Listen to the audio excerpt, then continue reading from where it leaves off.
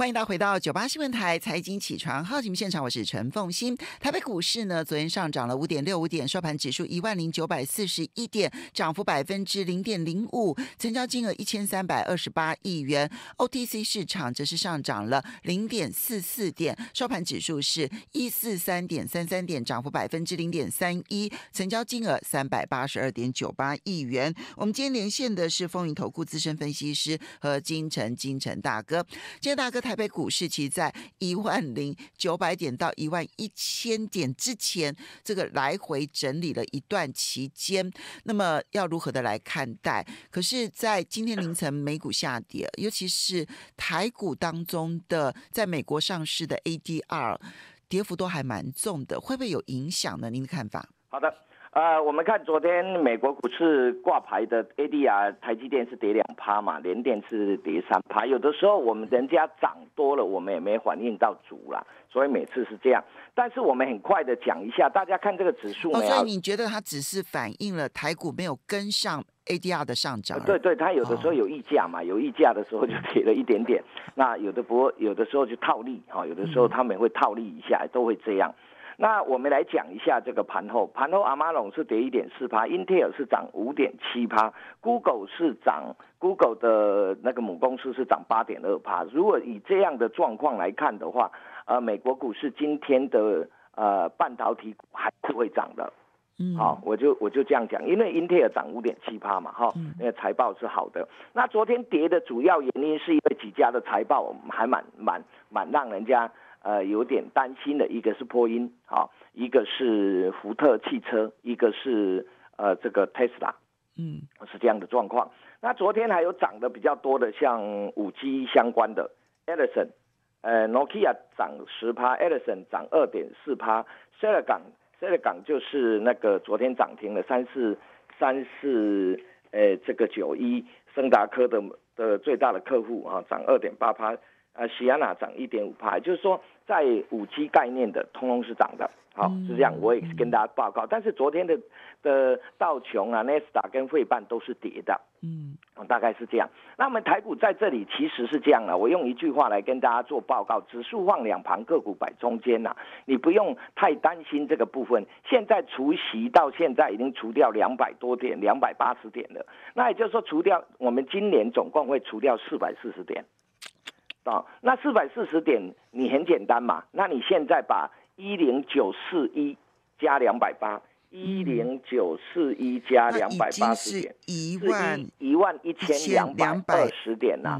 对，对不对？那基本上今年的电子股除息，今年很多的很多的这个传产股除息都贴息，比如说金融是贴息，嗯啊，塑化是贴息，还有一个一个贴息，大家没注意，就是电信股。嗯，电信电信占很大的权重，他们都贴息。那 那电子股基本上都都都填息嘛。那在这样一个情况下的时候，现在我把它加回来，加了两百八十点，就一零二二一一一二二一啦。嗯，我们去年的高点是一一二七零，所以已经过。你不能把钱拿回家就当没有哎。嗯，你把利息拿回家了，台积电除息有没有过？嗯，对吧？很多除息一天就过了。好，就像我们上个礼拜跟大家讲 TWS。我就讲一档，有点这财报还不呃不差的那个叫智深。我们那一天呃这个礼拜五收盘是五三五，今年五三八，那代表什么？席都填了两块四填了，又送三毛给你，嗯，是这样嘛？哈，席填了。那所以来到这里的时候，我们讲说你选股倒是比较重要。记不记得我们讲过呃这个呃这个华为的概念叫零零二四六三，叫做啊沪电。沪电在在大陆股市已经创新高了，不管它那个科创板怎么挂，它已经蹦蹦蹦又蹦上去了。那它的母公司，你看二三一六，你看一下，它已经除完息了，除一块，你看它股价已经二七几了。我们那时候讲的时候是二十块出头，嗯，对，它默默的、默默的就上去了。所以来到这里的时候，我倒觉得还是在个股了，哈，个股。那个股你把产业抓对，太冷的产业不要去。不要去动。你看最近这个 V D I 指数涨，你去看一个股票，我我就敲给他，不是请大家去追。你把万海打出来，你看万海这几天怎么涨？底下投信才买四天，就这样。你要注意，就投信刚买第一天的股票，你要特别小心。嗯，哦，这个这这不存在电子股或者传产股，你看它涨这样，你能想万海是这种涨法吗？昨天想不出来嘛，他昨天买六千多张。对我不是请大家去追，也就是说我我会点出那种方式给你看。那大概的状况是这样。那最近在 在在新闻面里面这几天，我们新闻最热的是什么？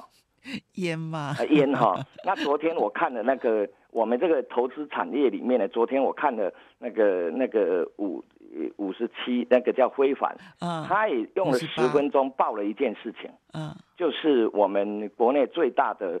投顾呃，券商的投顾就是元大的，元大投顾出了一个报告，把那个华通给给降平，然后顺便呃从买进降到卖出，而且讲它完全丧失订单。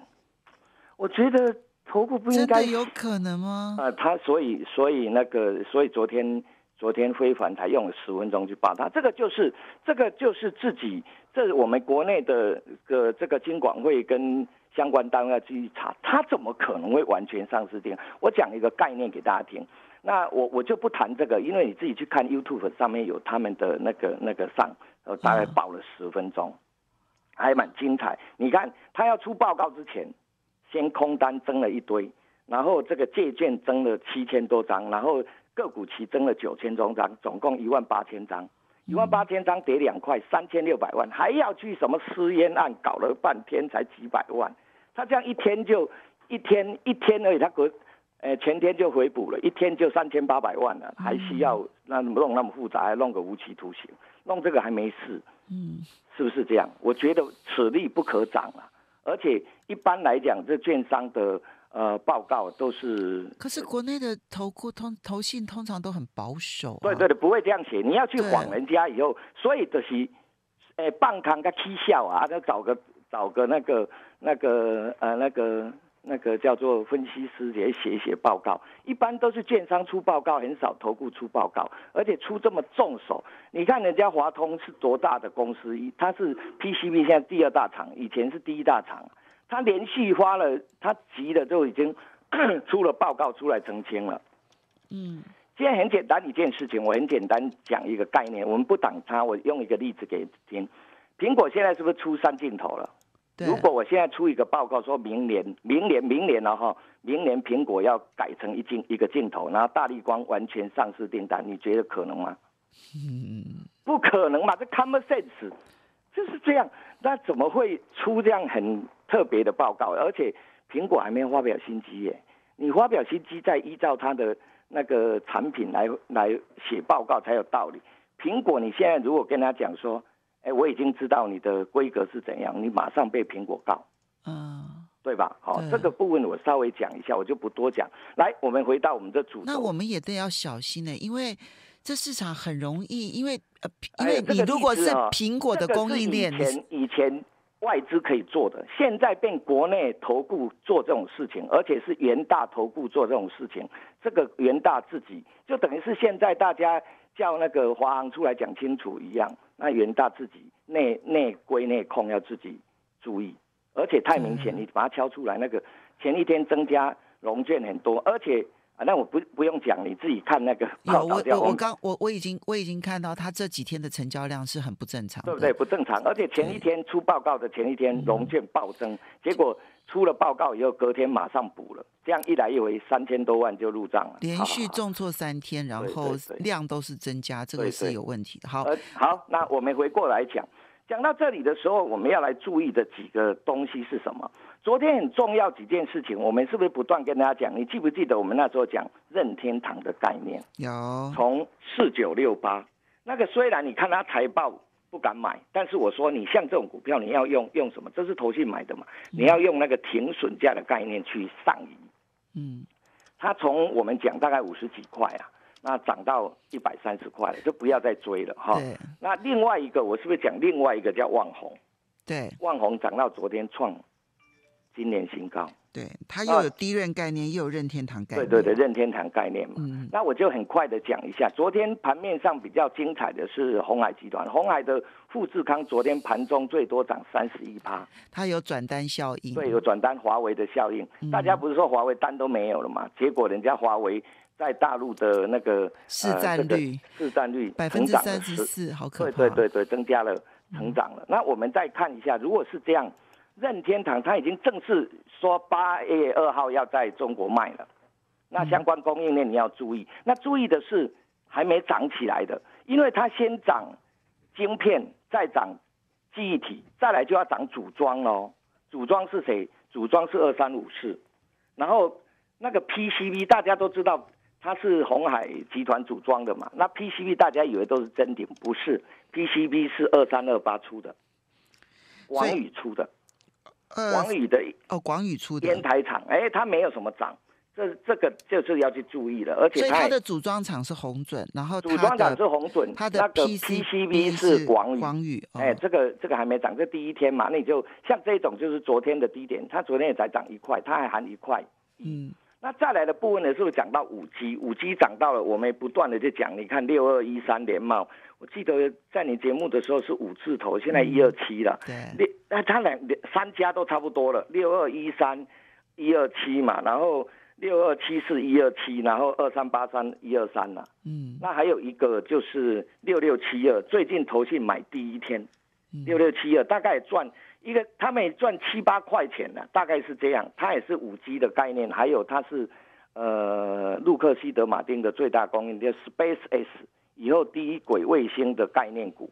OK，这个也都赚一样多。那比价会比价嘛？那你就这样去找一下比价，尤其财报第二季会好的。昨天三四九一就是第二季好嘛，嘣就直接拉过前面的高点啦，就是这样财报。是未来最重要的三四九一是森达克，我发现金城大哥对那个股号呢，还记得比名字还要熟悉。对对对对对，好，你就注意一下第二季财报意外爆冲的股票，一定会在盘面上成为呃法人追逐的一个股票。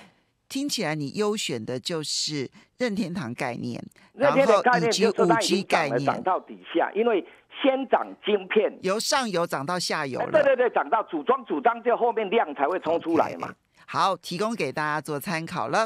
非常谢谢风云投顾资深分析师和金城金城大哥。